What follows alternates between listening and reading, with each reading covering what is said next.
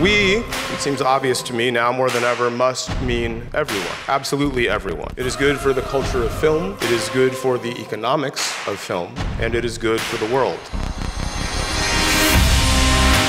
I had never seen myself represented in cinema and I knew that it was time to tell this story, my story, a story that presents Muslim characters with agency, but also acknowledges the internal conflicts that they face. The lane is shifting. People are hungry for a different sort of story, a different narrative, and again, people that reflect their own experiences. My name is Halima Aden. I'm a black Muslim Somali American, and I'm the first hijab wearing woman in many places.